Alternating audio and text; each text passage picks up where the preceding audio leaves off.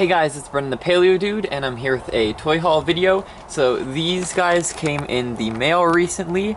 The Jurassic Park 3 Tapejara and Pteranodon, um, as well as the 2004 uh, Jurassic Park Dinosaurs 2 Tyrannosaurus Rex.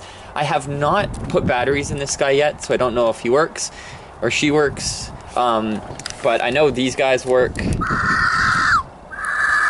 And I've actually wanted the Tapejara for a long time now, um, and I'm so glad to finally have it. I did not realize it was going to be like this big. Um, no, it's huge. With the wings, the, the Pteranodon and Tapejara are pretty big in comparison to the rest of the figures in their uh, electronic lineup. Um, which this guy's considered big compared to the, uh, I think they're React Attack or whatever think that's what the the the line's called.